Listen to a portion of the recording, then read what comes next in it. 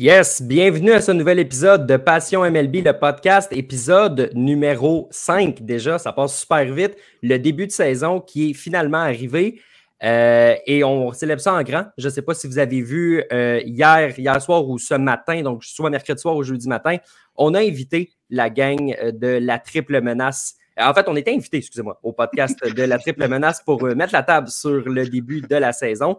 Euh, donc là, c'est l'inverse. Sébastien et moi, on est très contents de recevoir les trois gars. Donc, on se fait un gros party pour le début de la saison. Laissez-moi vous présenter tout le monde. Euh, à tout seigneur, tout honneur, Sébastien Berroir qui est là avec moi chaque semaine. On a le podcast à deux. Comment ça va, Sébastien? Ça va très bien. Ça ne peut pas mal aller. On a du baseball. C'est finalement commencé. Puis, on est cinq, justement, pour en parler. Fait que euh, merci à vous, les gars. Je pense qu'on va avoir beaucoup de plaisir. On a Félix Forget qui est là avec nous. Félix, comment vas-tu? Ça va, ça va très bien. Fan des Yankees aujourd'hui, ça va très très bien. Euh, les, les, Diamondbacks, tantôt en plus, qui vont jouer, qui vont gagner aussi. Tu vois, moi, à date, c'est une super belle journée. Il y a de la balle. J'étais avec euh, quatre gars exceptionnels pour jaser de ça. Puis honnêtement, le thème d'intro, genre, je l'avais déjà vu, mais il, est vraiment cool à chaque fois que je le revois. Juste, je au thème d'intro, pour vrai.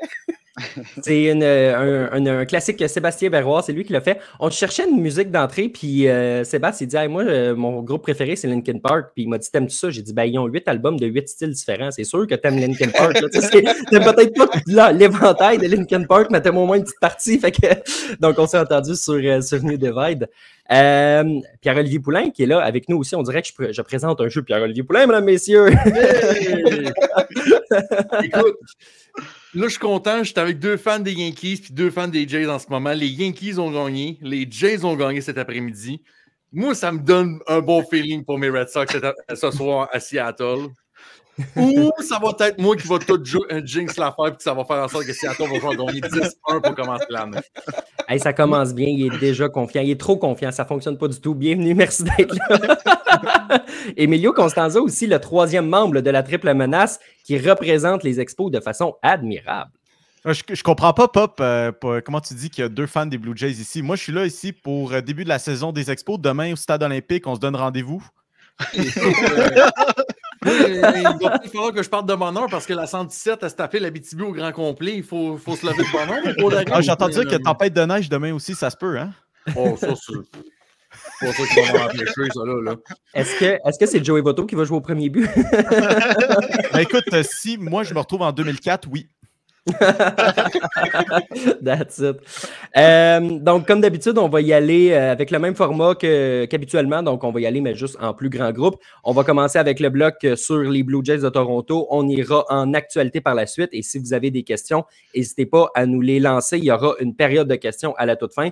Mais pour l'instant, Sébastien, allons-y pour chez les Blue Jays.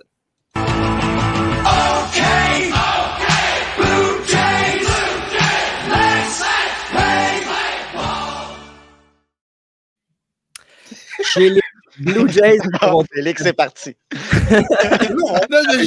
J'ai vu Mio danser, puis ça m'a. C'est le chaos, ce podcast-là, comparé aux autres. J'adore ça.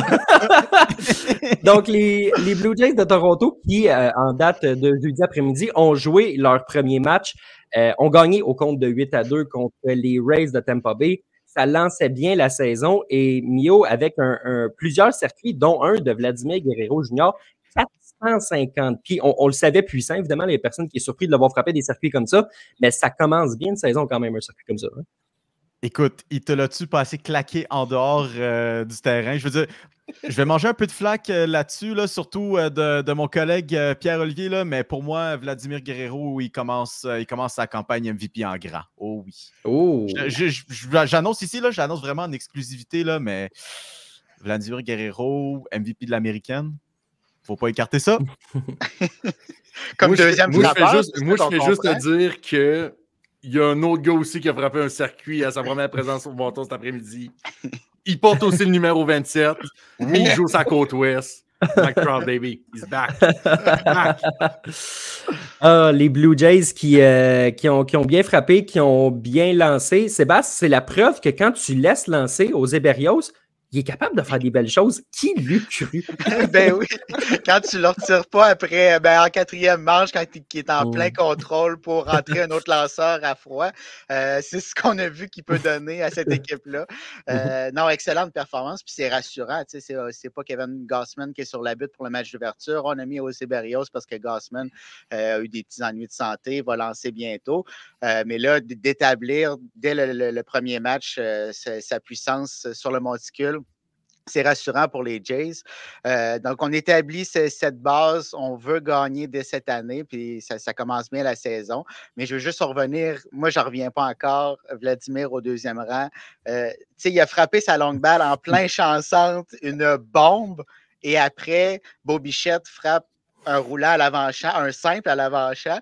Euh, ça ne tentait pas, John Schneider, de juste les inverser dans l'alignement offensif. Je n'en reviens pas encore. Excusez, il fallait que j'en parle. mais, mais vraie question par rapport à ça, puis tu sais, j'écoutais Sportsnet tantôt. Euh, Pensez-vous que c'est pour protéger George Springer un peu, qu'il n'a pas eu une belle saison, puis euh, tu sais, c'est peut-être une théorie tu sais, qui peut se tenir à ce niveau-là, Félix, mais en même temps, on, on dirait qu'un Vlad, je suis un peu de l'avis assez basse quand même, un Vlad, ça frappe trois. C'est ça, tu sais, je veux dire, protéger Springer, oui, mais à quel prix? Dans le sens où ton meilleur frappeur, tu veux le faire frapper 3. Puis Beau Bichette reste, c'est pas un, pas un 2 de pique non plus. là. Ça reste un gars qui est capable de protéger Springer, peut-être pas dans le sens conventionnel de être la, la menace de circuit et tout, quoi qu'il il est capable. là. Mais tu sais, dans un monde idéal, avoir ce, ce Springer, Bichette, Vlad là, c'est c'est comme plus traditionnel et tout. Puis je sais que le baseball de 2024, Oh, Félix, tu t'es mis sur mute. Peut-être.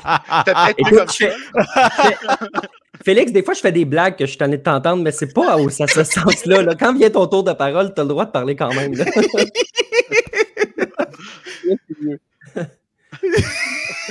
non, on t'entend toujours pas, mais je vois que tu plus sur mute. Essaye donc de nous parler un peu. allô, allô? Bon. Yes! OK. C'est ça, fait que bref, tout ça pour dire que le baseball de 2024, Carl Schwarber est visiblement un bon premier frappeur. Fait que rendu là, On est rendu là dans la conversation. On a manqué comme 30 secondes, puis t'es rendu complètement là. Non, je pense qu'il s'en allait, il s'en allait là. euh, Ouais, c'est ça, justement. tu sais, c'est- ça. Fait on- là, on a, on a un Springer, puis tout, puis l'alignement est un peu bizarre dans le sens que Vlad est deuxième, puis est troisième, puis là, Mhm. Schwarber est rendu un premier frappeur. Tu sais, c'est- les alignements sont un peu bizarres. La mentalité 2024 a changé un peu, puis les Jays se sont peut-être dit on veut Vlad deuxième pour maximiser ses présences au bâton, mais est-ce qu'on maximise vraiment ses présences au bâton si on se prive d'un gars comme Bichette pour se mettre sur les buts? C'est ça qui est peut-être à considérer un peu dans ce, gros débat-là. Parce que, tu sais, l'année passée, on l'a vu, Beau Bichette a un, un profil beaucoup plus complet de Vladimir Guerrero Jr. dans le sens que, tu sais, c'est un gars qui a tous les atouts pour gagner un championnat des frappeurs. On l'a vu jusqu'à peu près aux deux tiers de la saison l'année passée, jusqu'à temps qu'il se blesse. Fait que, euh, puis Beau Bichette, c'est c'est un gars qui est super bon pour envoyer la balle au champ opposé puis d'aller chercher un double. Donc, si t'es juste Vladimir Guerrero, t'as juste à faire le simple puis tu le rentres d'attitude. Tu sais, c'est. Moi, j'ai surtout hâte de voir qui, qui va protéger le troisième frappeur là, à partir de 4. C'est là qu'on voit qu'un peu que les, les cartes vont se mélanger un peu. Là. Mais euh, ça va être une belle bataille. J'ai hâte de voir ça dans l'alignement des Jays cette année. Mais sinon, il y a Isaiah Connor Falefa qui peut faire la job comme excellent quatrième frappeur.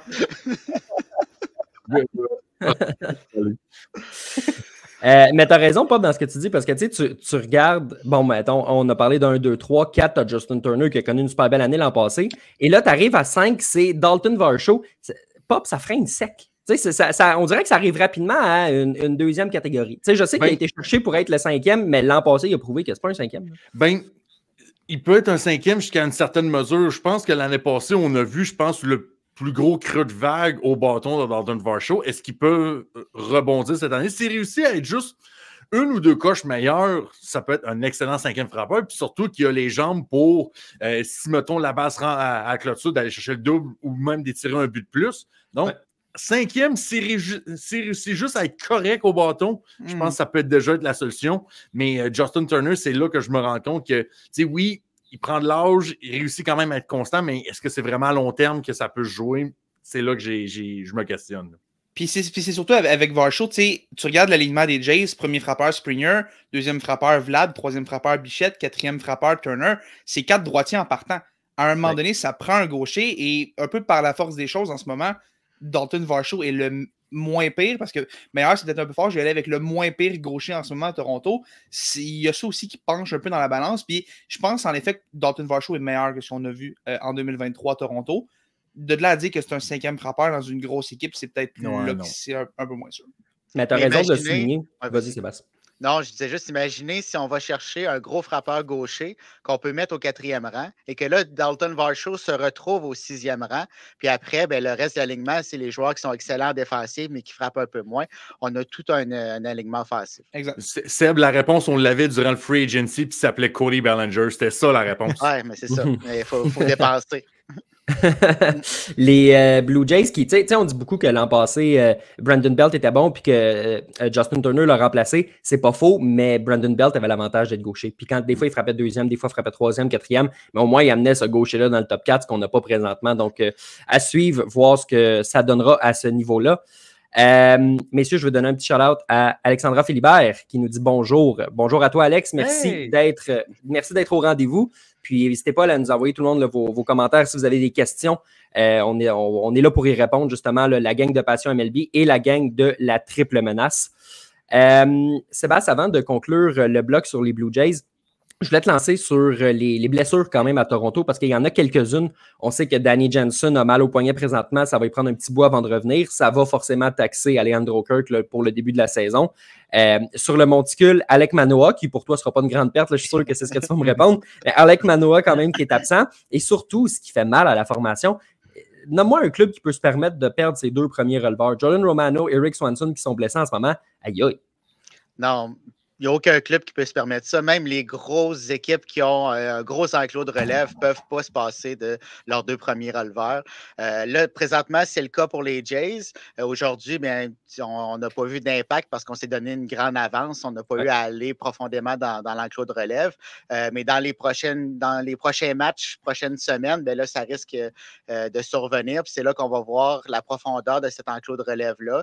Il ne faudrait pas que ces absences-là se prolongent parce que ça risque de faire mal on va perdre peut-être des matchs euh, à plus bas pointage ou très serrés. Puis à la fin de la saison, mais ça peut paraître au classement. Donc, il ne faudrait pas que ça s'étire trop longtemps.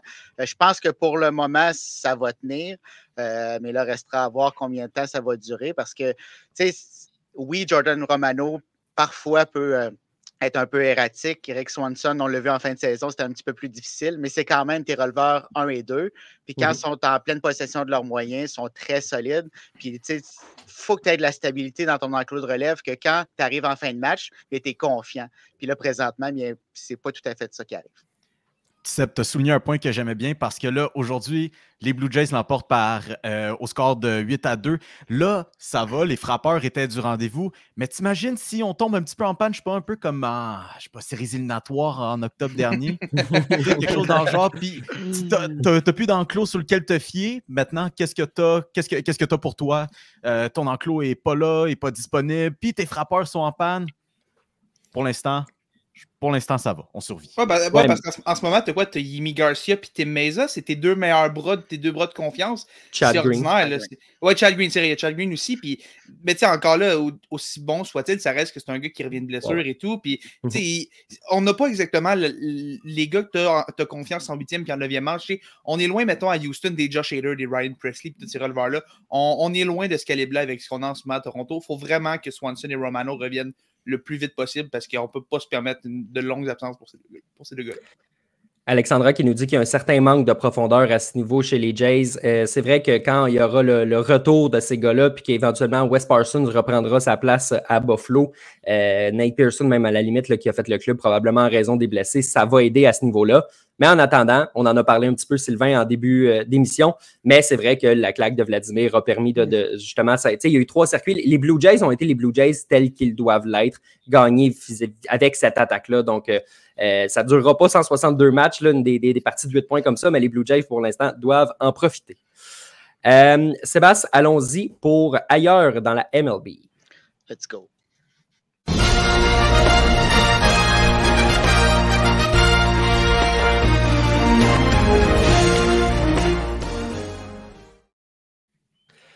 Ailleurs, dans le baseball majeur, euh, j'ai envie qu'on aille tout de suite avec un petit point euh, de Benoît euh, qui nous parle de la rotation des Yankees. On a vu, puis parlons-en justement de, de, ce match-là aujourd'hui. Commençons avec Félix. Euh, les Yankees qui, euh, écoute, après une demi-heure, je pense pas que tu étais exactement confiant envers une victoire des, Yankees de New York. Euh, j'ai vu un tweet, je me souviens plus c'est quel journaliste sur le beat des Yankees qui a dit Ouais, c'est 3-0, Garrett Cole revient minimum le 28 mai, puis ça résumait bien ce qui se passait. Hein. Les, Yankees s'ennuient de Garrett Cole quand même. Non, on s'ennuie, on s'ennuie vraiment de Garrett Cole, puis tu sais, Nestor Cortez qui s'est ramassé un peu par défaut avec le numéro 1. Et je vais quand même donner du crédit à Nestor Cortez, qui a eu un départ extrêmement difficile. Ça a été très difficile dans les deux premières manches, mais il s'est bien ressaisi après. Il a au moins donné une chance à son équipe de gagner. Il a gardé les Yankees dans le match jusqu'à temps que le reste de l'attaque se réveille. Et finalement, ça a eu un impact. Ça a donné une victoire de 5-4 aux Yankees aujourd'hui. Mais là, tu regardes, Nestor Cortez, t'es pas hyper confiant en partant. Tu arrives à Carlos Roland après qu'il y a une saison 2023 difficile. Tu arrives à Marcus Stroman dans quel état il est? Est-ce que ça va être le Marcus Stroman de la première moitié de 2023, de la deuxième moitié de 2023 On ne sait pas encore. Il y a un bon camp d'entraînement, mais à quel point tu peux te fier sur Marcus Stroman? Il y a des doutes là-dessus. Après ça, tu tombes à Clark Schmidt, puis après ça, c'est. Il manque encore de punch, il manque de Garrett Cole. Là, ça va bien, mais il va falloir que des gars comme Cortez soient capables de, garder les Yankees dans le match. Des gars comme Rodon rebondissent. On a payé du gros argent pour Carlos Rodon. On a besoin de Carlos À New York. Et je pense que d'ici le retour de Garrett Cole, le temps que tout le monde retrouve un peu sa chaise, les Yankees doivent survivre avec leur rotation. Il faut qu'on tienne deux mois, puis il faut que Garrett Cole revienne en pleine santé parce qu'en ce moment, tu, le vois, c'est un gros point d'interrogation. On parlait de la relève de Toronto tantôt. La rotation des Yankees n'est pas beaucoup mieux. Tu n'as pas vraiment de gars que tu peux envoyer comme un Garrett Cole que tu l'envoies, tu sais qu'il va te donner sept manches en accordant un point et tout, puis qu'il va te donner une vraie, vraie chance de gagner. L'attaque doit donner une chance à cette rotation-là de survivre en attendant le retour de Garrett Cole. Là, Seb, euh, Félix, j'ai besoin euh, d'un avis très honnête. Là. Fait que d'ici, mettons, la mi on, on s'attend à quoi à peu près? C'est quoi vos espoirs pour les Yankees avec ce qu'on voit en ce moment? Ben, on s'attend à ce que la relève soit surtaxée, puis on l'a vu aujourd'hui, c'est la relève qui a gagné le match. Nestor Cortés, qui, comme tu l'as mentionné, Félix, s'est bien repris dans les manches euh, subséquentes après la première manche, mais la relève a tenu le fort. C'est ce qui a permis aux Yankees de revenir dans le match puis de finalement l'emporter. Fait que vraiment, ça va, ça va passer par la relève. Euh, on a parlé de l'attaque, c'est vrai, mais si la relève s'écroule, les Yankees, ça ira vraiment pas bien parce que la rotation est plus faible. Donc, euh, il va falloir prendre plus de manches puis ça va passer par là. Il n'y a pas d'autre moyen pour que les Yankees survivent jusqu'au retour de Garrett Cole. On, l'a vu avec les, Yankees. Euh, le plan, on a vu Michael King l'année passée être excellent dans ce rôle-là, un releveur qui lance plus d'une manche. Et cette année, les Yankees veulent faire un peu la même chose avec Jonathan Loiziga. Et on l'a vu aujourd'hui, il s'est mis un peu dans l'eau chaude, mais ça a bien été dans l'ensemble. A donné deux bonnes manches pour aider Cortés après. Et ça a permis d'amener Ian Hamilton en huitième, qui est un des releveurs de confiance, et Clay Holmes en neuvième si on peut avoir un gars comme ça, comme Loiziga, qui peut donner deux, peut-être même trois manches par sortie, peut-être pas, euh, tous les jours évidemment, mais tu sais, qui aux deux, trois matchs vient donner deux, trois manches-là quand un releveur et quand, un partant est peut-être un peu plus, un peu plus suspect une journée, ça va vraiment aider cette rotation-là parce qu'en ce moment, on manque de bras de confiance avec les Yankees et on a besoin d'un gars à la Michael King l'an passé, qui malheureusement Michael King est rendu à San Diego, on ne l'a plus. Mais si on est capable de le remplacer un peu avec Loiziga, ça va vraiment aider cette rotation en ce moment. Puis Sébastien, c'est sûr que. Oui, vas-y. Non, non, vas-y. J'allais te lancer sur Juan Soto, dire que justement, il peut faire partie de cette solution-là aussi. je sais qu'il n'est pas, pas, un lanceur, évidemment, mais s'il si frappe à la hauteur de son talent, puis qu'il soutient des buts sur balle à la hauteur de son talent, puis que Judge le fait rentrer, euh, tu peux te permettre de cacher quelques failles dans ta rotation et dans ton personnel de lanceur parce que si tu gagnes 8 à 7, ben, c'est mieux que de perdre 3-2. Oui, exact. Puis on l'a vu aujourd'hui, Juan Soto, il, va prendre le but sur balle s'il n'a pas le lancer qu'il veut, va se rendre sur les buts, puis ça protège d'une certaine façon le run judge. Puis là, tu as, justement le capitaine qui arrive, qui peut mettre la balle soit de l'autre côté de la clôture ou soit en lieu sûr. Donc, ça, va passer par le haut de l'alignement. Euh, puis tu sais, cette attaque-là, est probablement une des meilleures de la Ligue américaine, mais si le haut de l'alignement ne frappe pas, ce n'est pas le bas qui va la sauver. le bas va suivre le haut, mmh puis ça va prendre un DJ Le Maillot qui n'est pas là présentement, qui, est encore sur la liste des blessés, mais quand il va revenir, mais ça va commencer avec le maillot, puis là, ça va descendre avec les Torres dans l'alignement. Euh, donc, oui, l'alignement offensif va avoir un rôle à jouer. Puis juste pour revenir sur euh, les propos de Félix, euh, tout comme Michael King l'a fait, il peut le faire en quatrième, cinquième, sixième manche. Il peut le faire aussi en neuvième manche. si Clay Holmes euh, a sauvegardé deux matchs de suite, bien, l'OSCG peut aussi terminer la rencontre. Donc, c'est vraiment un bel atout dans, dans l'enclos de relève. Puis écoute, tu, tu parlais aussi que Juan Soto n'est pas un lanceur? Moi, je m'excuse, mais je regarde le jeu qu'il a fait en 9e manche. Donc, on est mal pris. Euh, euh, capable de lancer au marbre popé. J'ai trouvé aujourd'hui. euh, Écoute, Ah, ils, ont sorti, ils- ils ont sorti une stats aujourd'hui, puis c'est ça, je suis encore flabbergasté, qui disait que euh, Juan Soto est comme septième pour les, Ouais. euh, les assists euh, chez les Ouais. voltigeurs dans le baseball majeur. Ouais. Juan Soto, c'est. of all people, Puis ça, peut-être que justement, il n'y a pas ce respect-là. Puis il n'y a pas un vilain bras, il n'y a pas un, un- Non, un non, bras de gant doré ou quoi que ce soit. Là, mais il est quand même capable de se défendre. Il a quand même un certain bras. Puis peut-être que justement, les équipes le, le respectent pas assez. Puis si on est capable de le faire payer comme ça, hey, ça, c'est des gros retraits. Quand on est capable de retirer un gars qui contourne le 3, là, euh, si on est capable d'aller chercher ça, tu veux trouver des solutions pour aider ta rotation. euh, là, la- une super bonne solution empêche le gars de marquer avec un gros relais comme ça, surtout avec Verdugo et Judge qui sont deux bons bras aussi. Euh, au moins, on s'est donné un, un bon champ extérieur pour les Yankees essayer de s'aider un peu à ce niveau-là. Il a sauvé le match aujourd'hui. c'est- pas le bras le plus puissant, mais il est quand même précis. Fait que c'est ça. Il, il rend la balle au marbre, pas nécessairement de façon très rapide, mais est dans le gant du receveur, puis le receveur complète le. Exact. Messieurs, euh, on a quelques petits commentaires ici. Le Benoît qui nous dit merci par rapport euh, aux commentaires sur les Yankees. Ça nous fait plaisir. Puis n'hésitez pas à venir euh, nous poser les questions que vous avez. Sylvain, je vois ta question, ton commentaire sur les Pirates. On va la garder pour la fin de l'émission quand on ouvrira les blocs de questions. Et on a un commentaire de mon père qui est présent. Qu'est-ce que serait un live de Passion MLB sans mon père? Surveillons bien le one-two punch de Judge et Soto. C'est ce qui sera la recette des Yankees de New York. Mio a l'air content. Mio a l'air. Ben oui, de- ben de- je veux dire, hier, euh, sur, euh, sur notre programme, j'ai quand même dit que le, que le duo euh, Judge Soto allait frapper pour une centaine de coups de circuit cette saison. Je sais, je sais, c'est peut-être un peu extrême, mais j'ai confiance en cet aliment des Yankees euh, et euh, surtout du haut de la formation au bâton. Là. Ça, ça risque d'être excitant. qui avait même collé 50-50, là. 50-50, euh, euh, une- euh, un équilibre parfait.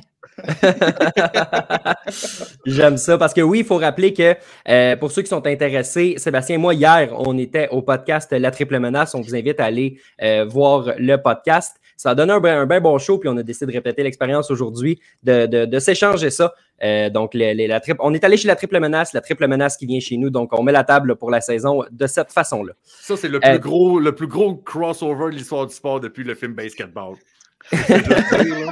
C'est le meilleur crossover de. J'allais dire une niaiserie, mais non, il n'y a rien qui va topper ça. Félicitations. Exactement. Yes, C'est mon yes! rôle aussi, c'est de dire le plus de niaiseries, euh, le plus de niaiseries en pas niaiserie. 60 minutes. Euh, messieurs, il reste quelques sujets d'actualité avant de se lancer sur quelques prédictions. Euh, on en a plusieurs. Je vais vous lancer chacun votre tour. Pop, je veux commencer avec toi.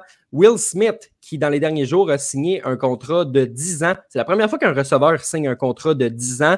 Il a 29 ans, donc il aura 39 ans à la fin de son contrat. Seulement 140 millions de dollars, ceci étant dit, même si on, lui achète 8 années d'autonomie. Euh, les Dodgers qui ont dépensé en masse, qui ont dépensé en fou, d'avoir un receveur qui frappe numéro 4 derrière les trois MVP pour 14 millions par année, j'appelle ça une réussite, moi. Ah, écoute, euh, je pense. et, tu sais, on parle beaucoup de, de prendre un contrat moindre pour aider, euh, pour aider un noyau de joueurs, aider un peu ton équipe. Bon, c'est sûr que les Dodgers ils ont tellement les poches profondes qu'ils pourraient sortir euh, 300 millions pour Will Smith, ça le ferait quasiment rien. Ouais. Mais 140 millions pour 10 ans? Ouais. Hey, Puis en plus, quand j'ai vu la, la nouvelle passer sur, ça a sorti peut-être quoi, lundi, mardi à peu près? Ça, c'était un contrat que personne n'a vu venir. Là. Tu sais, ça- ça- Jeff Passon a sorti ça. Paf! euh, comme, hein? Qu'est-ce qui vient de se passer? 10 ans? 140 millions? Mhm. Écoute, le Bonne chapeau pour fight, Will. Smith, by the way. Quoi? Bonne fight, Will Smith, by the way. c'est vrai, c'est de quel Will Smith que tu parles? Est-ce que tu parles de Will Smith? Oh, le on- ou du Will même Smith Will? Reste, reste sur le sujet. là.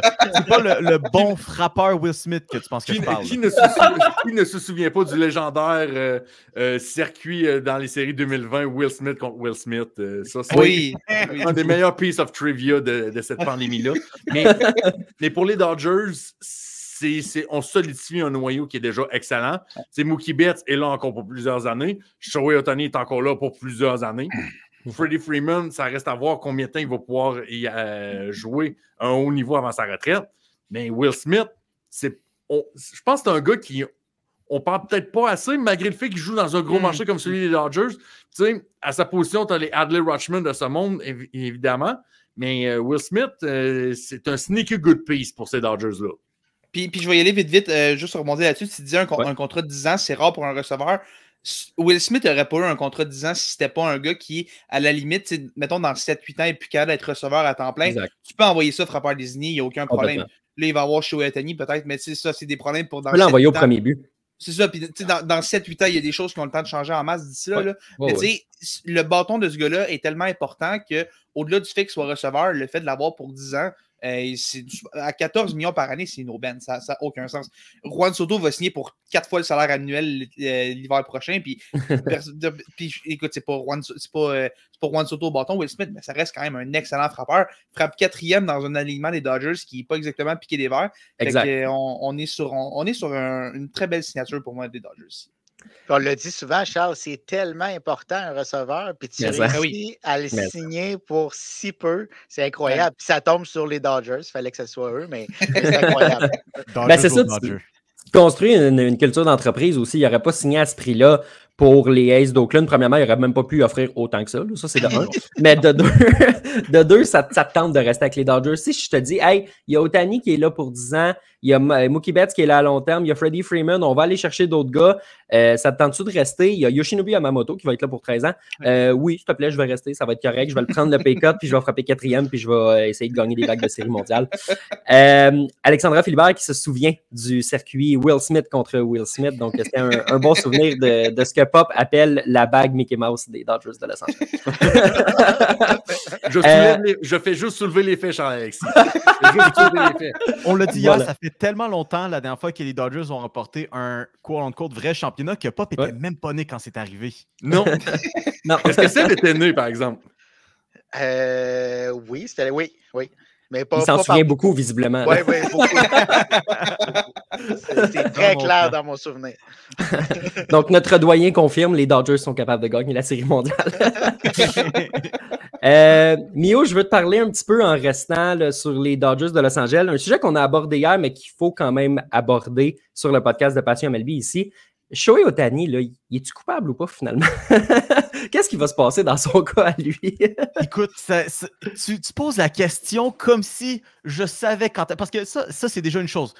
Le temps que ça va prendre avant qu'on sache ce qui est arrivé, puis en détail, ça va tellement être compliqué. Il y a tellement de, de couches à cette Ouais. histoire-là que je pense que tu l'as dit toi-même que peu importe l'indice qui va sortir, ça peut pencher des deux bords. Ouais.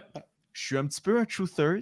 Moi aussi, j'adepte peut-être un petit peu à cette, euh, à cette histoire euh, de, de conspiration que peut-être que Otani, euh, s'est peut-être amusé un petit peu avec les plaisirs euh, du euh, Paris sportif. Je sais, je sais, il y a des règles en place pour ça. Moi, je, je- je tiens je tiens à dire, il y a peut-être un bouc émissaire dans, dans l'histoire. Mais tu sais, tu l'as dit toi-même. Les euh, ça peut aller d'un bord que, ben non, en effet, c'est vraiment IP qui, qui, a- qui aurait fait du Paris sportif. De l'autre côté, ah, c'est peut-être vraiment Shohei Otani qui l'aurait fait. Il y a tellement de couches à ça, mais tout ce que je peux dire, c'est que c'est pas normal qu'il y ait autant d'argent qui sorte de ton compte de banque sans que tu t'en rendes compte. On s'entend là-dessus. Y a-t-il quelqu'un ici là, autour de la table qui, qui pense que Shohei Otani est coupable? Non, mais il- yes! Un, un un. Seb, il- ça n'a pas de temps, mais. Moi, je serais plus, dans- je suis plus dans le camp de IP Mizuhara est coupable, mais Shoei est complice, par exemple. Shoei est je, un peu impliqué là-dedans. Comme ça aussi. Je pense pas que. Je pense pas que Shoei est blanc comme neige dans cette histoire-là. Je pense que ça se peut pas. Ça se peut pas selon. Écoute, peut-être qu'il y a une version que je comprends pas et tout, puis mais ça, ça marche pas dans la tête. Tu, tu peux pas faire tout ça tout seul sans que le gars. Je, je sais pas. Peut-être, mais j'ai.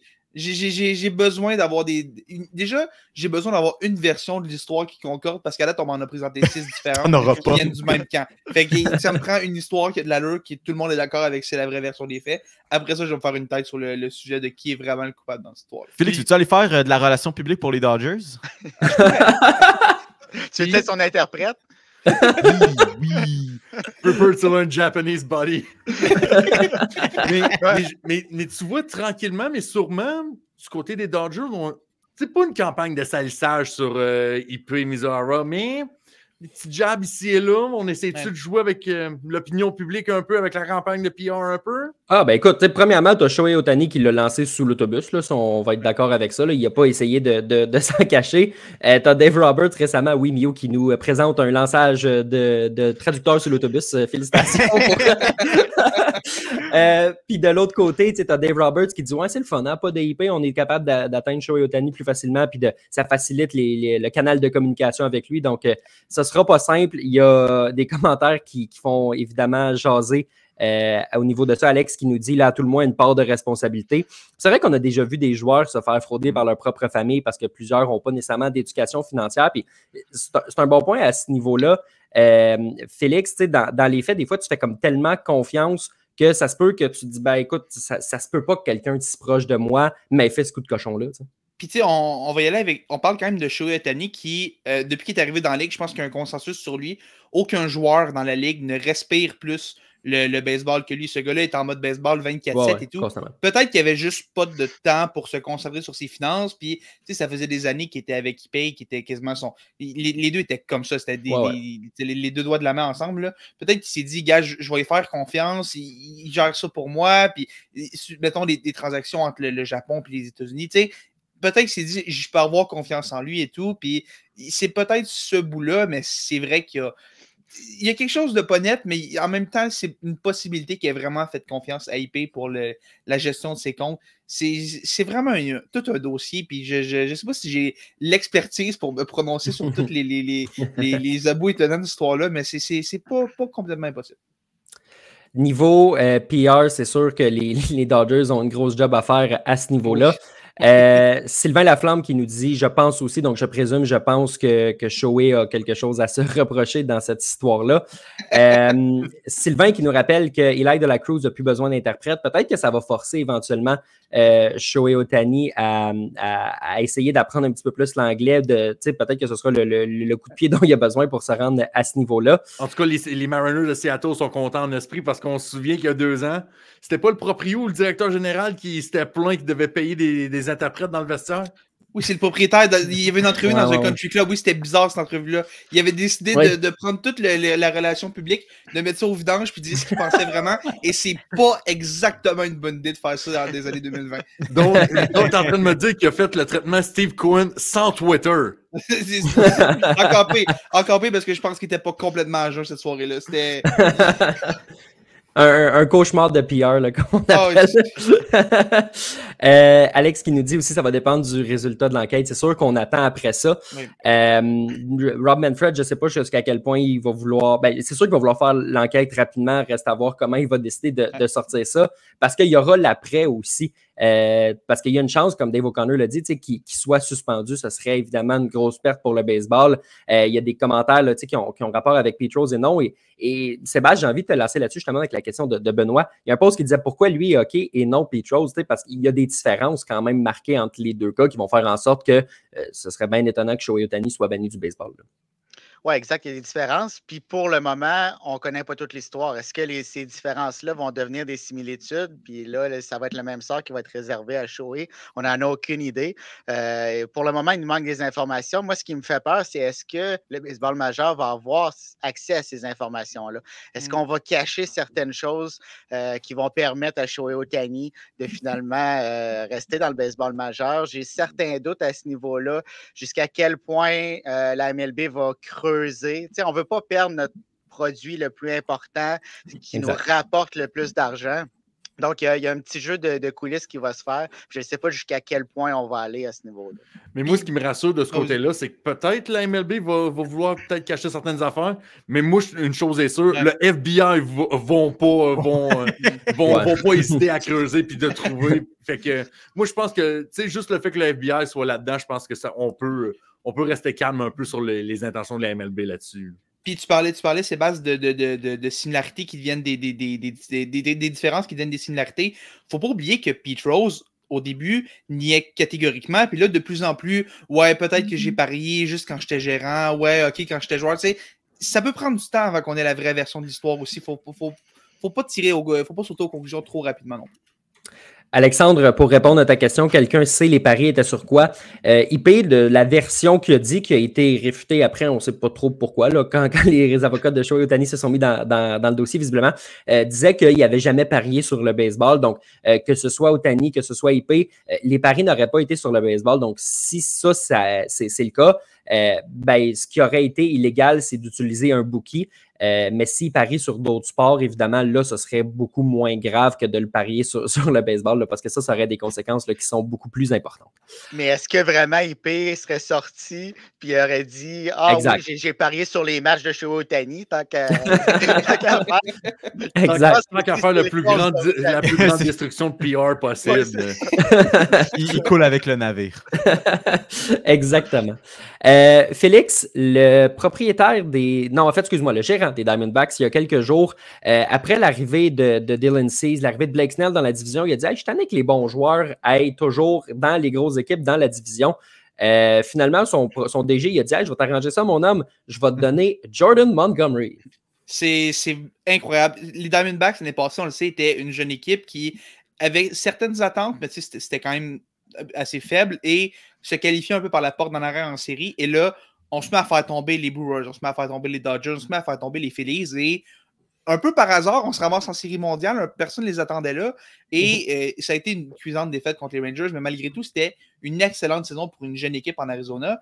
Et au lieu de s'asseoir un peu sur nos lauriers, de dire Oh, on a des jeunes, ça va progresser et tout, les Diamondbacks ont été hyper agressifs cet hiver, que ce soit Wenyo Suarez, que ce soit Jock Peterson, que ce soit Eduardo Rodriguez.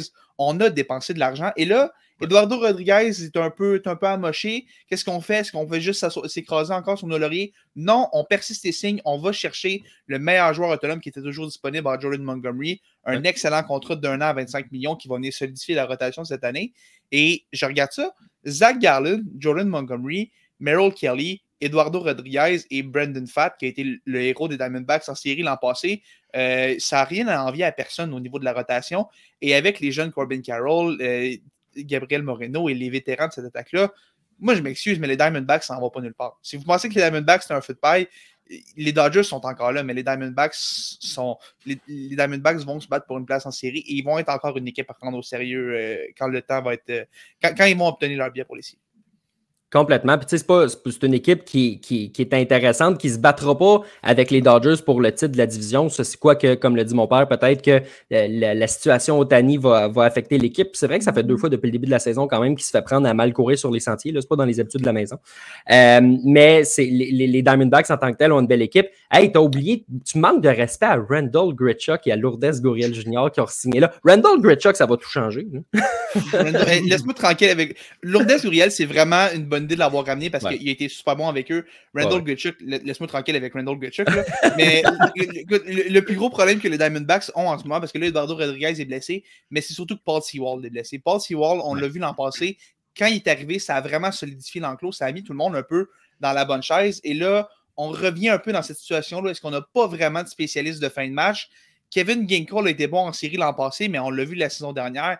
Quand on l'envoie en 9e manche, c'est une toute autre histoire et tout ça va prendre le retour de Paul Sewell rapide, je pense, parce que dans cette division-là, tu ne peux pas te permettre de perdre des matchs. Puis on en parlait avec les Blue Jays. S'il te manque tes, tes bras de confiance dans l'anglo, ça peut rapidement faire boule de neige. Tu peux rapidement euh, rentrer dans une vilaine série de défaites et tout. Et une série de défaites dans l'Ouest de la nationale, c'est presque une sentence de mort en ce moment. Avec la, à quel point cette division-là est relevée. Euh, il y a les Rockies. Tu peux aller rejoindre les Rockies dans la race si tu veux, mais si, tu veux, faire partie des quatre grosses équipes, tu ne peux pas te permettre de perdre beaucoup de matchs. Non, ça, on s'entend là-dessus. Euh, ça fait en sorte, Sébastien, j'ai envie de te lancer là-dessus. Je ne sais pas pourquoi j'ai un feeling que tu as envie de charler sur Scott Boras, fait que je vais te donner la tribune pour le faire. Quel hiver pour le super Boras, hein? Hey boy! Ben, tu sais, tout est relatif. J'aimerais savoir euh, un hiver atroce comme il a connu, là, mais selon ses standards, ça n'a vraiment pas été facile. Il y avait des très gros clients. On, on s'attendait à ce que tous ces clients au presse signent des contrats à très long terme euh, sur, des montants faramineux. Puis ce qu'on se rend compte, c'est que c'est presque tous des contrats à court terme avec des options de sortie, avec des montants qui sont beaucoup moins élevés que ce qu'on s'attendait. Euh, donc, ça n'a vraiment pas été facile. dès le début de la saison morte, euh, Scott Boris, qui, on le voyait, le voulait attendre, voulait avoir son prix, attendre pour avoir le nombre d'années également. Puis ça servirait complètement contre lui. Puis j'ai hâte de voir parce que, tu sais, on a un Jordan Montgomery qui sortait d'une des meilleures saisons de sa carrière. On a un Blake Snell qui sortait d'une saison de Cy Young. Imaginez si euh, ils ne connaissent pas de succès ou ils se blessent durant la saison. Et là, ils ont un contrat à court terme, doivent renégocier. Il n'y aura jamais l'argent qu'ils auraient pu avoir. Puis il y avait des offres de contrat sur la table. Ce n'est pas comme s'il n'y avait pas d'offres. Il y en avait, mais ils ne voulaient pas les prendre. Euh, donc, ça a été très difficile. Puis je vais, je, vais, je vais y aller un peu là-dessus. Si tu es Juan Soto, qui dans un an va être joueur autonome, que Scott Boris comme agent, est-ce que tu commences à t'inquiéter un petit peu?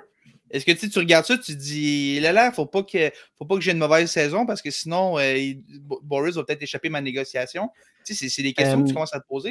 Honnêtement, Juan Soto, non. Parce que Juan Soto. Va être... Mais non, mais la, question est bonne, ceci étant dit. Hmm. Parce que c'est le meilleur joueur du marché euh, d'autonomie l'an prochain. Fait que le marché va tourner alentour de lui. Les Yankees et les Mets vont se l'arracher. Je pense que non. Ceci étant dit, si Pete Alonso ou si un, gars comme ça, à la limite Corbin Burns aussi qui va être un, de ses clients, les quatre joueurs qui viennent de signer des contrats en dessous de leur valeur qui vont sûrement redevenir joueurs autonomes, eux peuvent peut-être s'inquiéter. Mais Juan Soto, je pense. Ouais. J'allais à Soto, c'était l'ensemble des clients, mais j'aime la nuance que tu amènes. Je pense aussi que Soto peut-être plus safe que les autres, surtout qu'il est tellement perçu comme un joueur générationnel. Mm-hmm. Puis tu vois Juan Soto, tu penses top 5 joueurs de la MLB, ce qui est en tout respect pour Blake Snell, Jordan Montgomery, tu ne penses pas à ces gars-là comme étant top 5 de la MLB, là, mais c'est peut-être des, des, signaux d'alarme qui commencent à s'illuminer pour, euh, pour les, les, clients de Boris en ce moment. On verra ce que ça va donner, mais pour l'instant, Jordan Montgomery qui se retrouve avec les Diamondbacks, un club qui, selon Dave O'Connor, peut, faire, peut ressembler un petit peu aux Orioles de Baltimore.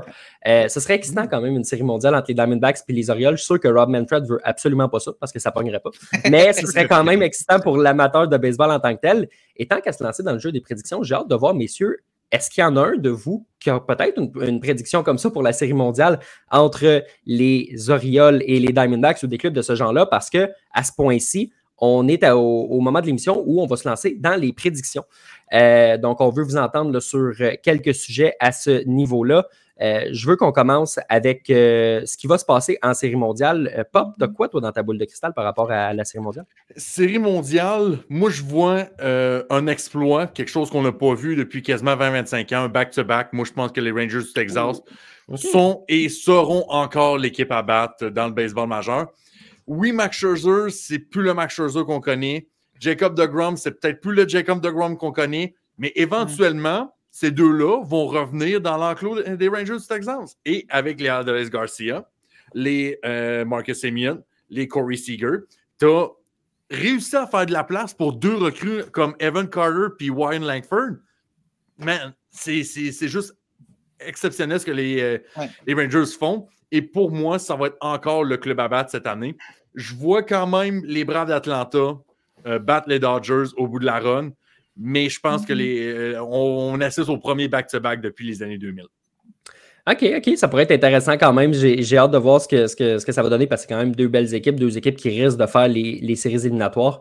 Euh, messieurs, juste petite parenthèse, je veux mettre le commentaire d'Alexandre Mayou qui nous dit que les DG, les DG semblent avoir fait un job de bras à Boras. C'est pas impossible non plus. non, non, le, théorie écoute, qui était sur le écoute on, on, l'a vu, ça fait plusieurs exemples dans les dernières années. On connaît la réputation, puis je pense que euh, on, a, on réussit quand même à coller son bluff. Là. Je pense que les, les, les DG dans le baseball majeur, c'est ce qu'ils font. Fait que euh, c'est juste un bon bluff calé de la part euh, des équipes. Puis on pleurera pas, là. Non, vraiment pas.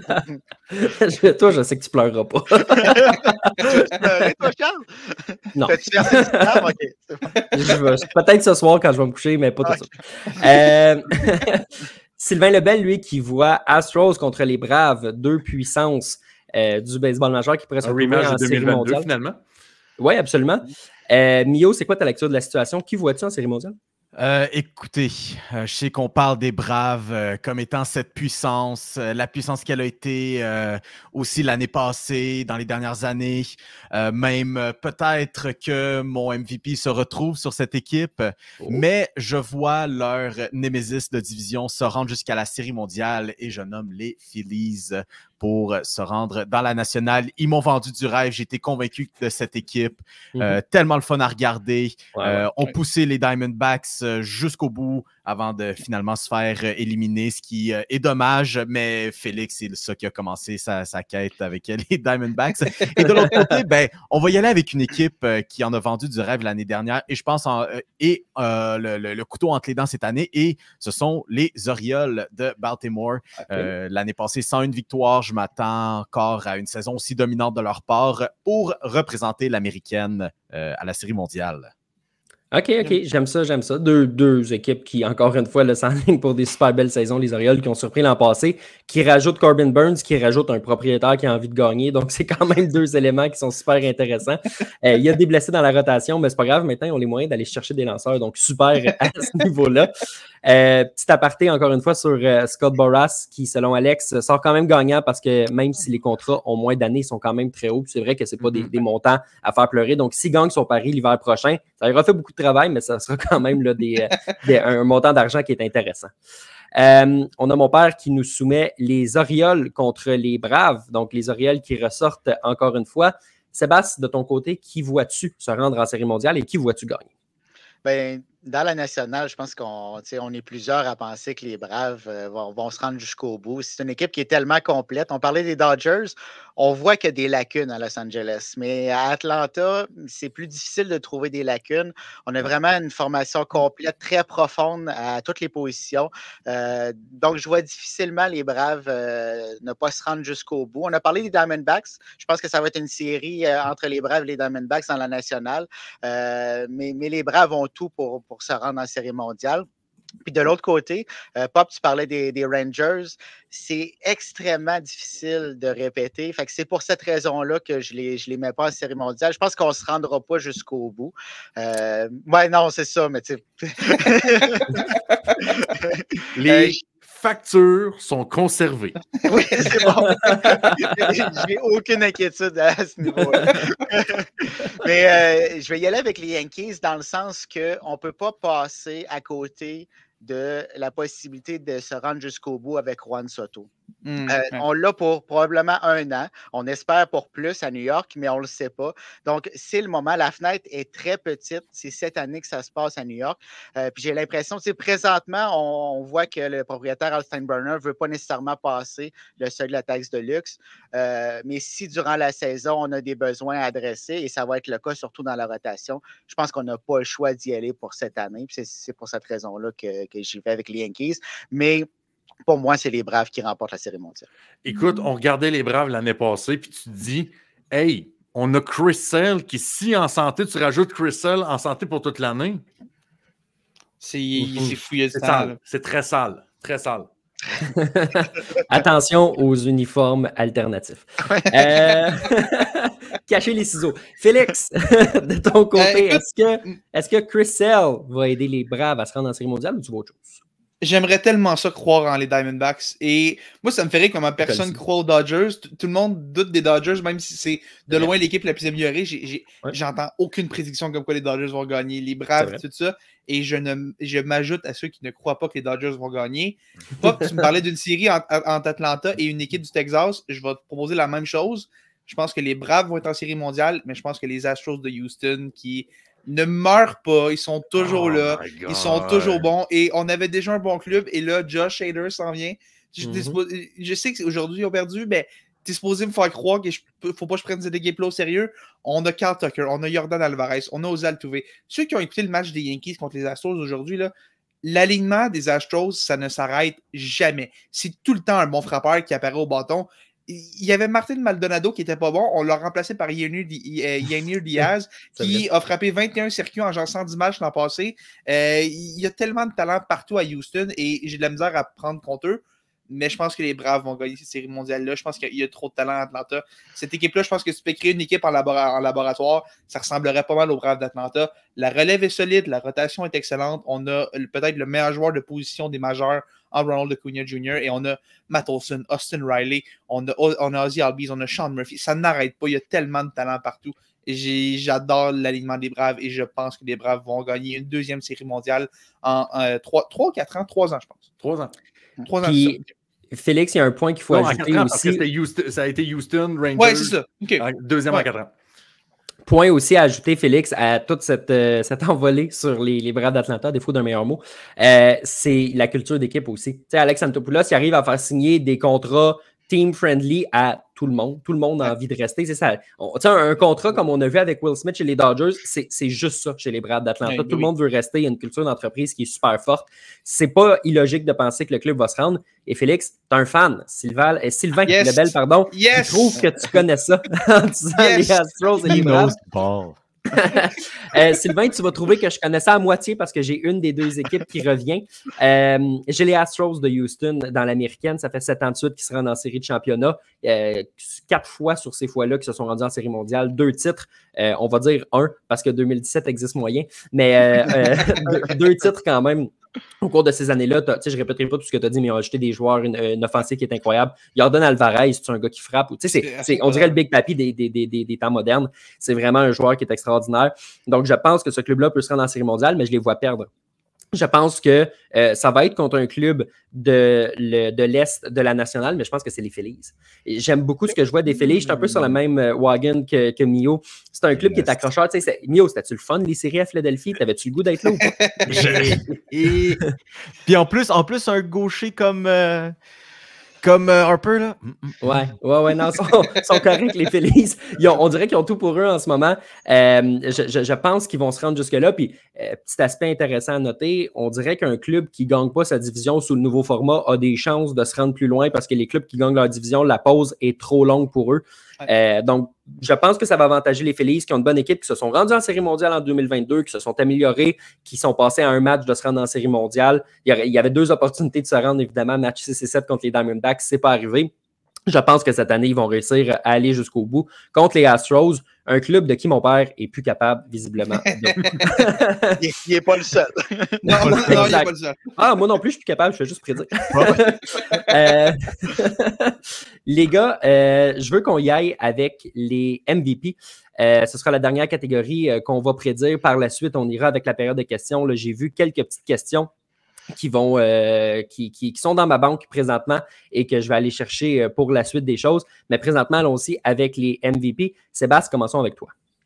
Ben, mes MVP suivent un peu ma prédiction pour euh, la, série mondiale.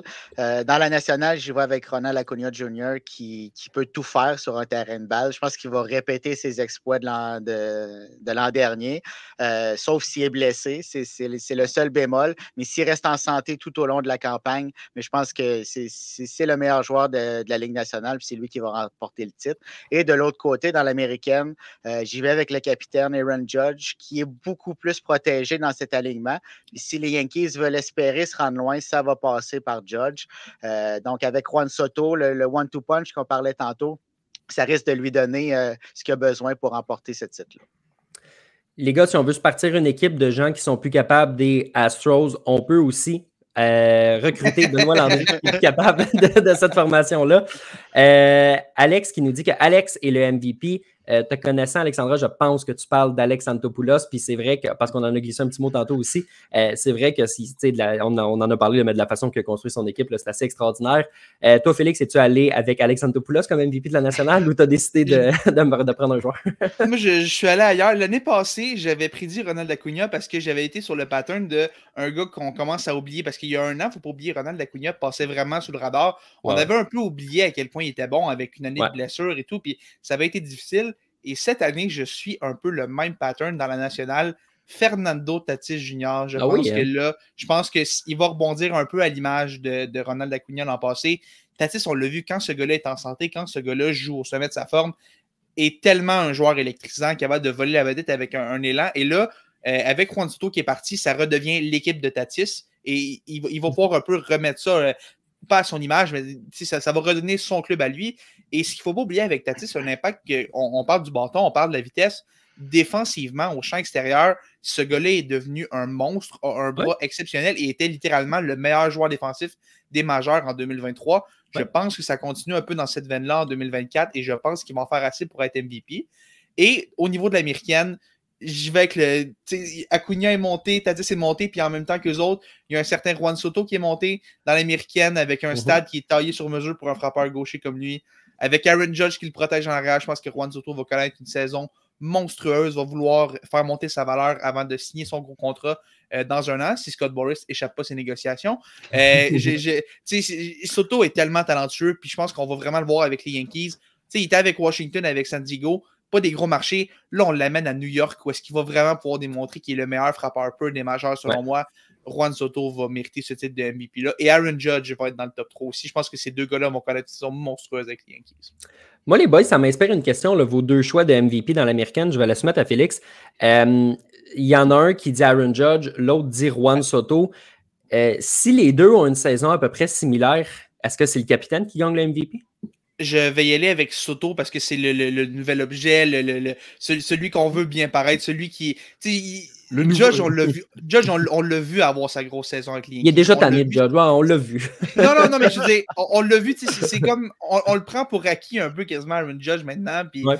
tu sais, Ouais, ce- ce gars-là a tapé 62 circuits dans une saison. Tu sais, s'il fait 50 circuits, ça va être exceptionnel. Juan Soto qui arrive de San Diego, qu'on a payé à gros prix pour l'amener pour justement solidifier cet alignement-là.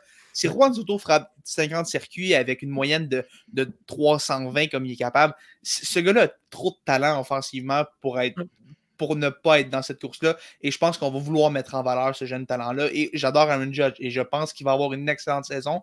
Mais à saison égale, je pense qu'on va pencher pour Juan Soto. Sébastien?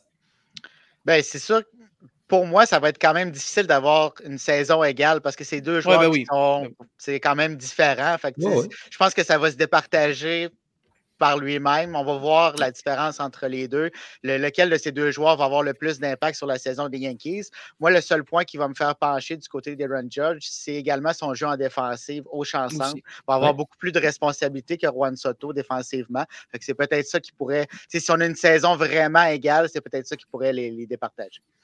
OK, OK. J'aille pas ça. J'aille pas ça. Pop, tes choix de MVP, ça ressemble à quoi? Euh, la nationale, je vais faire vite parce que Félix m'a volé mon punch. J'y vais aussi avec euh, Fernando Tatis Jr. On sent que euh, sa transition vers le champ droit, ça va être salutaire pour sa carrière. Ouais. Et au-delà de gagner le MVP, moi, je, je suis prêt à quasiment mettre euh, 2 là-dessus. On va avoir Quasiment? une saison de 40-40 pour Fernando Tatis Jr. Oh, j'aime ça. J'aime ça, un 40 40-40 pour euh, Fernando Tatis Jr. Et s'il se rend, je pense qu'on n'aura pas le choix de lui donner l'MVP, même si euh, Ronald Acuna a fait un 40-70. la- Ouais, c'est ça. l'année passée. 40-40, c'est tellement out à cette heure. Si on fait des 40-70, 40-40, ça vaut plus rien maintenant. Ok, ben, fuck it. Euh, Fernando Tatis Jr. 50-50. 50-50, pourquoi pas? Dans l'américaine, tu y vas avec qui? Euh, je vais y aller peut-être pour un joueur qui est dans une équipe qui n'est peut-être pas, euh, pas sous les feux de la rampe, qui ne. On le voit pas peut-être pour les séries. Moi, je vais. euh, je vais y aller pour Bobby Witt Jr. du côté des Oh. Royals de Kansas City. Euh, ce gars-là, s'il jouait à New York, s'il jouait à Boston, s'il jouait à Los Angeles, tout le monde dirait déjà que c'est un top 10 des meilleurs joueurs de position dans le baseball majeur au grand complet. Malheureusement, ce n'est pas le cas. Il joue à Kansas City, qui n'est pas euh, un gros marché flamboyant. Mais Bobby Witt Jr., c'est cette année. Si les blessures ne sont, euh, sont de son côté et qu'il reste quand même euh, un seul morceau durant toute la saison, ça va être le breakthrough season. Il y en a eu une l'année passée, mais là, ça va être là qui va être sur les feux de la rampe et qu'on va vraiment trouver le, le talent de Bobby Witt Jr. Parce que, un peu comme Tatis, un peu comme Acuna, c'est un gars qui peut frapper pour contact avec un peu, un peu de puissance s'il est capable euh, de, la, de la sortir du stade. Puis on sait qu'à Kaufman Stadium, c'est pas toujours le lieu le plus facile pour sortir la balle. Ouais. 30, 40 peut-être buts volés, je pense qu'il y a tous les atouts, un peu comme un Acuna l'année passée, d'aller chercher un MVP. Hi- Hier, c'est drôle parce qu'on parlait de ça. Je parlais comme quoi j'aimais l'alignement des Royals et tout. Puis je pense que là, on a un peu de protection pour lui aussi. On a Michael Garcia qui frappe au premier rang. On a Vinny Pasquantino qui frappe au, au troisième rang. Ouais. C'est pas des, des noms très connus, des noms très populaires, mais ça reste que ça va forcer les équipes à tenir Bobby Witt en respect. Et Mhm. il est plus seul au monde à Kansas City. Moi, je pense que les Royals vont surprendre cette année et je serais pas surpris que Bobby Witt, son nom se retrouve dans les discussions en effet. J'aille pas ça. J'aille pas ça. C'est un. Il y, a, il y a le gros contrat. Il va avoir la pression, pas d'amener les Royals en série, mais de performer Ah, c'est lui-même. Donc, euh, drôle. si, si- C'est encore drôle. Non, c'est pas encore drôle. Un peu là-dessus, Pop. Euh, mon père qui nous souligne aussi que Judge va falloir qu'il joue une saison complète s'il veut talonner euh, Juan Soto, puis c'est un bon point à ce niveau-là. Surtout jouer au champ centre, là, ce ne sera pas nécessairement évident. Euh, Emilio, comment il va-tu pour tes choix de MVP? Ah, ça, va être, euh, ça va être des choix plates, mais dans la nationale, je vais devoir y aller avec euh, Ronald Acuna Jr. Ça, c'est Euh, plat. je veux dire- c'est- plate, mais plate. joueur, joueur plate. Il n'a rien, il a rien fait l'année passée. Puis en plus de ça, ils viennent d'avoir 26 ans. C'est pas comme si il rentrait dans ce qui devrait être son apogée. C'est pas comme Il si. est vieux. Non. pas comme s'il y a peut-être juste un potentiel, peut-être pas encore pleinement exploré qu'on pourrait voir cette année. En plus, c'est la tournée de la vengeance. J'en connais un qui veut euh, venger la, la sortie de l'année passée. Définitivement. J'aille pas ça. J'aille pas ça. Du côté euh, de la Ligue américaine, comment tu y vas? Euh, ben, je, je vais, je vais y aller, mettons, ce que ma tête dit. Si je vais y aller dans le même sens que Félix avec Juan Soto. Puis en plus de ça, bon, ça pourrait être son premier MVP qui gagne à New York parce qu'après ça, il va aller les gagner de l'autre côté euh, de la rivière euh, avec Oh, les Mets. arrête! En Stop. 2025, avec, euh, avec les Mets, ça, ça va être genre la meilleure bataille de New York. Mais, mais, mais, mais, je l'ai dit en début d'émission, j'aimerais j'aimerais ça que Vlad Guerrero Jr., un peu pour les mêmes raisons que Ronald Acuna, le- le- la tournée de la vengeance cette année. Je suis, un, je suis un peu sceptique pour les Blue Jays, mais j'ai quand même confiance en ce que Vla- Vlad Guerrero pourrait faire euh, cette année. OK, OK, OK. Euh, moi, de mon côté, euh, moi aussi, j'ai un choix plate, aussi plate que celui de, de Mio. Bryce Harper comme MVP dans la nationale. Il y en a déjà quelques-uns à son actif. Il sait ce que ça prend pour en gagner un. Euh, j'ai j'ai dit, moi, je crois que les Phillies vont gagner la Série mondiale. Je pense que ça va passer par une énorme saison de Bryce Harper. On l'a amené à une position moins exigeante au premier coussin. Il s'est bien adapté l'an passé. Il est soigné. Son Tommy John est derrière lui. Il est capable d'amener cette équipe-là au prochain niveau. Il adore Philadelphie. Philadelphie l'adore. Ça va carburer à ce niveau-là. Donc, c'est mon choix du côté de la nationale. Et du côté de la Ligue américaine, un joueur qui aurait pu le gagner sept fois dans les huit dernières années, mais parce qu'il joue au troisième but à Cleveland, c'est pas le joueur le plus populaire. Ah. Euh, José Ramirez. Ouais. C'est tout un joueur, il tient cette formation-là. Euh, je pense pas qu'il va amener son équipe en série, mais je pense qu'il va avoir d'énormes performances. Donc, je vois euh, le joueur de troisième but des, euh, des, des Guardians avoir le mérite qui lui revient et gagner un titre de MVP. Euh, Sébastien, le temps nous presse, mais on a quand même quelques questions. Je veux qu'on les fasse, c'est le principe du podcast. Donc, allons-y avec la période de questions.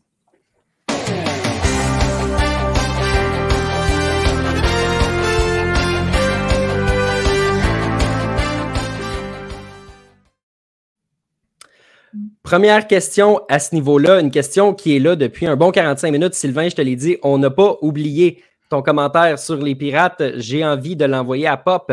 Une première victoire pour les Pirates. Euh, je, vais, je vais la tourner en question. Est-ce que tu t'attends à ce qu'il puisse surprendre du côté de la centrale euh, de la nationale ou Mais- pour toi, c'est un peu peine perdue du côté de Pittsburgh? C'est pas peine perdue parce qu'on est capable de voir un peu ce que les Pirates l'ont fait. Puis on se souviendra juste l'année passée, c'était eux qui menaient la division, je pense, après le premier mois. OK, oui, le mois d'avril, ça n'a peut-être pas la même valeur que le mois d'août et le mois de septembre.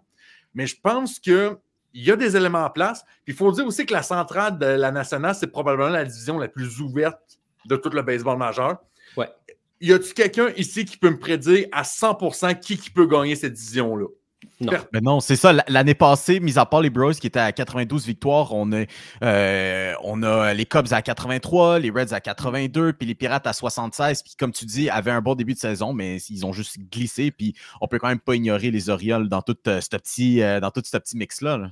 Puis tu sais, ça a pris une saison historiquement mauvaise des Cars de Saint-Louis pour que tout ça arrive. Moi, je peux pas croire. Ouais. Moi, je crois toujours que les Cars, c'est un flou qui est arrivé l'année passée. C'est un alignement des planètes négatif qui a transcendé cette organisation au complet. Puis je je peux pas croire qu'une organisation comme les Cars va vivre une deuxième saison comme elle a vécu l'année passée. Donc, moi, je pense que la, la crème va remonter éventuellement.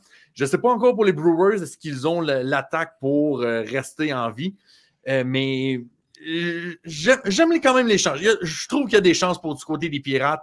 Puis, comme je dis, tout est ouvert dans cette division-là. Moi, je me demande si l'arrivée éventuelle de Paul Skeens va changer quelque chose. On le sait qu'il est tellement dominant. on l'a repêché parce qu'il était dominant au collégial, puis ça a bien été dans les mineurs l'an passé. Au camp d'entraînement, ça a bien été. Là, on l'a renvoyé dans les mineurs pour quelque chose qui pourrait peut-être ressembler un peu à de la manipulation de temps de service. En tout cas, les mauvaises langues diront ça. C'est un Euh, mythe, ça, Félix, n'existe pas, ça. Mais tu sais, ce, ce gars-là peut tellement venir dynamiser la rotation. Puis on l'a vu au milieu des années 2010, il y a un certain Garrett Cole qui est arrivé, puis sans amener les Pirates en série mondiale et tout, a quand même amené cette équipe-là loin et a fait progresser cette Ouais. équipe-là. Et surtout que les Pirates, on a déjà des éléments en place. On a Brian Reynolds qui est un excellent jeune joueur. On a Henry Davis qui s'en vient éventuellement. On a O'Neill Cruz qui est extrêmement électrisant et qui est peut-être, lui, on parlait de Bobby Witt. O'Neill Cruz peut aussi peut-être se ramasser un peu d'amour pour l'MVP avec une Ouais. grosse saison dans la nationale Ah ouais. surtout qu'il est, surtout est hyper électrisant et tout. Euh, les Pirates ont des super beaux éléments en place et je pense qu'ils peuvent surprendre. Et- et- encore là, cette division-là est tellement ouverte, n'importe qui peut la gagner. Et peut-être que les Pirates vont profiter un peu de ce, ce, ce fait que tout le monde peut se battre pour cette division-là pour se rentrer dans la course et peut-être qu'ils vont être là jusqu'à la toute fin. Mais c'est- tant mieux s'ils sont capables d'être là. Les fans des Pirates ont souffert pendant tellement d'années. Ça a été des années tellement difficiles. Et si on peut ramener Andrew McCutcheon en série, ce serait quand même une super belle histoire à Pittsburgh. J'espère que les, Pirates vont être capables de- d'au moins être au plus fort de la course pour une bonne partie de la saison. Messieurs, euh, prochaine question qui nous provient de Sylvain Laflamme. Je vais la lancer à Sébastien. Est-ce qu'on peut penser qu'Edouard Julien est désormais un joueur partant régulier pour les Twins? Les Twins qui ont échangé quand même euh, Jorge Polanco aux Mariners de Seattle pour lui faire de la place. Euh, Puis c'est intéressant parce que, tu sais, cet hiver, il a dit je veux m'améliorer défensivement pour pouvoir garder ma place, mais je veux aussi être capable de frapper contre les gauchers. Aujourd'hui, euh, jeudi, match d'ouverture, il n'était pas partant parce que c'était Cole Reagans, un gaucher qui était sur le monticule. Ceci étant dit, la blessure de Royce Lewis l'a amené dans le match contre un gaucher, il a placé la balle en lieu sûr. Donc, la question est intéressante parce que s'il arrive à prendre ce petit switch-là de frapper contre les gauchers, il peut devenir un gars de tous les jours. Ben, c'est sûr. S'il si, prend ce, petit switch-là, c'est sûr qu'il devient un joueur régulier. C'est sûr qu'il va être partant pour la majorité des matchs des, Twins. Pour le moment, on, semble voir un Rocco Baldelli, le gérant, qui, semble hésiter à le placer dans des, euh, circonstances plus difficiles. Euh, J'ai l'impression qu'il s'est amélioré en défensive. Est-ce qu'il lui manque encore ce petit quelque chose euh, pour affronter les gauchers? On va le voir avec le, la, saison qui, va se dérouler. Mais le fait d'avoir échangé Ori Polanco, ben là, tu, tu t'enlèves la profondeur dans ton alignement. Donc, il faut que tu aies une certaine confiance en Édouard Julien.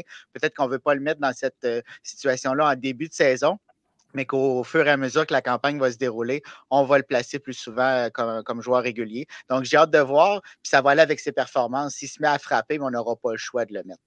Ça, puis je vais y aller aussi. L'année passée, on a vu une chose qui était claire. Édouard Julien peut frapper des lanceurs de la MLB. Surtout les droitiers. Il les a, ouais. il les a atomisés pendant, une, pendant, tout le temps qu'il était là. Ouais. Et s'il est capable d'ajuster cette corde-là à son arc, c'est pas pour rien que John Heyman, qui est un, un, un journaliste qui est ouais. national, place son nom comme un candidat qui passe un peu sous le radar pour champion frappeur. C'est pas rien. Là. Ce gars-là, il, il, a du respect dans la MLB et tout.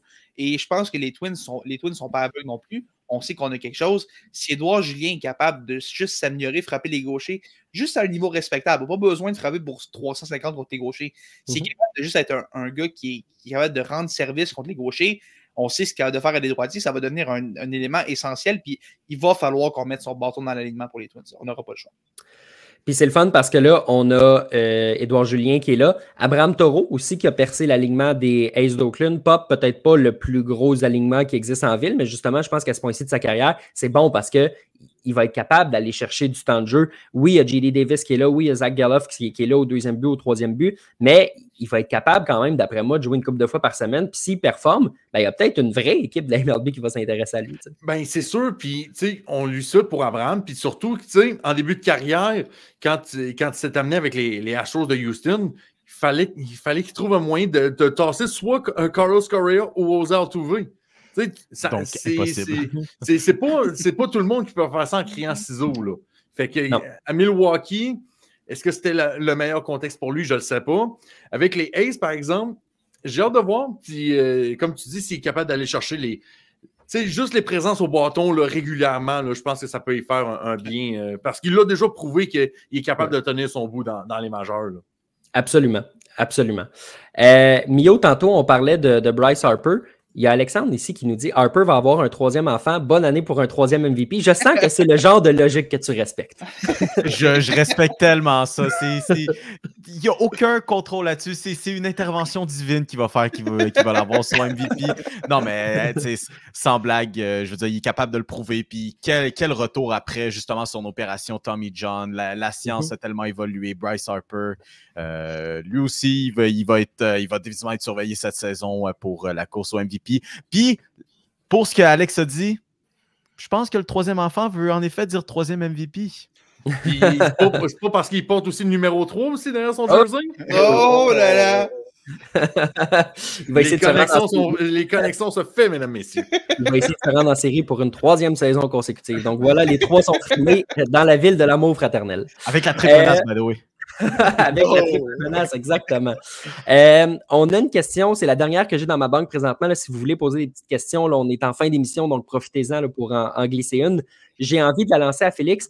Question super intéressante que Sébastien t'en conviendra avec moi. C'est le genre de question qu'on n'a jamais eu, puis je suis très content de l'avoir. Euh, Félix, je te la pose. Carl Brocheux qui nous dit Selon vous, qu'est-ce qu'un deuxième et un cinquième frappeur devraient avoir comme qualité dans un baseball qui évolue comme ça? Puis c'est vrai qu'avant, il y avait un cadre qui était assez rigide. Tu sais, les premiers frappeurs d'aujourd'hui n'étaient pas les premiers frappeurs du temps. Mm. Dans le temps, tu étais un petit gars qui bonnait et qui courait. Aujourd'hui, tu es Kyle Schwarber. Tu sais, c'est pas exactement le même profil. Qu'est-ce que tu vois, toi, pour un bon deuxième puis pour un bon cinquième frappeur dans le baseball? Moi, pour moi, un... j'adore la question. C'est vrai que c'est super intéressant. Oui. Pour moi, un, un deuxième frappeur, surtout dans, dans un alignement traditionnel où ton troisième frappeur demeure ton, ton meilleur frappeur, pour moi, un deuxième frappeur doit être capable de se mettre sur les sentiers coûte que coûte. Et c'est pour ça que j'aime comment les Yankees ont disposé leur alignement. On a Juan Soto, on a Aaron Judge. Et au lieu de mettre Judge deuxième, comme on l'a vu dans les dernières années, tu mets Juan Soto qui va aller chercher des buts sur balle, qui va être capable justement de se mettre sur les buts pour que ton meilleur frappeur, après ça, puisse faire le gros du dégât. Avant, c'était le, troisième est ton meilleur, le quatrième est ton gars de puissance.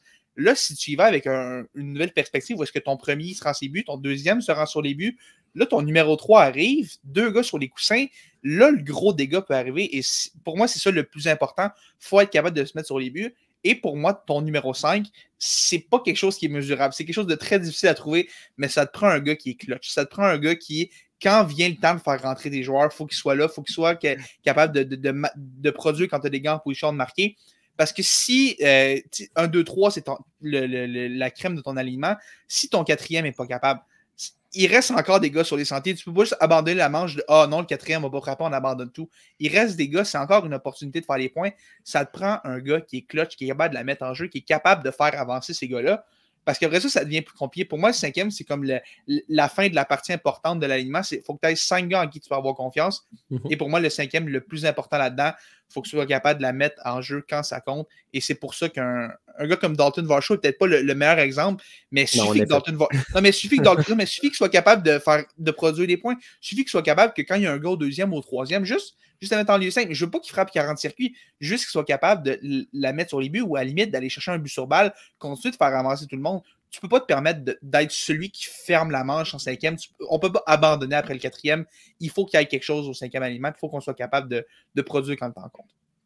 Excellente question, excellente réponse. J'ai vraiment aimé ça.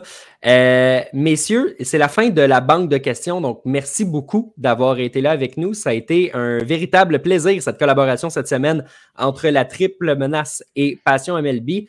Euh, Mio, peux-tu nous dire où est-ce qu'on peut vous retrouver, la gang de la triple menace, si on veut écouter votre contenu?